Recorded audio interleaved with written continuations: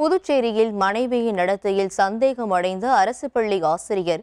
மனைவியின் கழுத்தை அறுத்து கொலை செய்துவிட்டு கத்தியுடன் காவல் நிலையத்தில் சரணடைந்தது அதிர்ச்சியை ஏற்படுத்தியுள்ளது. முதலியார்பேட்டை வேல்ராம்பட்டு பகுதியைச் சேர்ந்தவர் விஜயன்.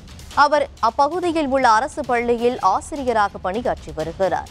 இவரது ஐம்பத்தி இரண்டு வயதான மனைவி சாந்தியும் அரசு பள்ளியில் ஆசிரியையாக பணிபுரிந்து வந்தார். இவர்களுக்கு கல்லூரியில் படிக்கும் மகனும் மகளும் உள்ள நிலையில் சாந்தியின் நடத்தையில் சந்தேகமடைந்த விஜயன் அடிக்கடி அவருடன் தகராறில் ஈடுபட்டுள்ளார். ஞாயிறன்று இருவருக்கும் மீண்டும் தகராறு ஏற்பட்ட போது ஆத்திரமடைந்த விஜயன் சாந்தியின் கை கால்களை கட்டி கழுத்தை கத்தியால் அறுத்து கொலை செய்துள்ளார். கொலை செய்த பின் அவர் ரத்தம் சுட்டிய கத்தியுடன் முதலியார்பேட்டை காவல் நிலையத்தில் சரணடைந்தார்.